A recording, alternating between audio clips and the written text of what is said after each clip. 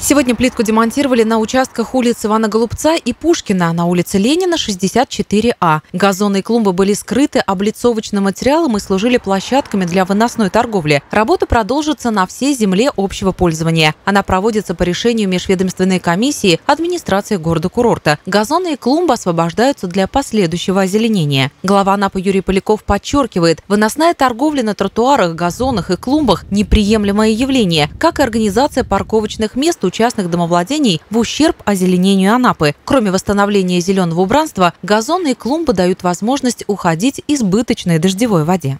По поручению главы города муниципальный контроль производит освобождение озелененная территория от незаконного, от выполнения законного мощения плитки. Освобождаем клумбы, газоны э, для того, чтобы выполнить озеленение города.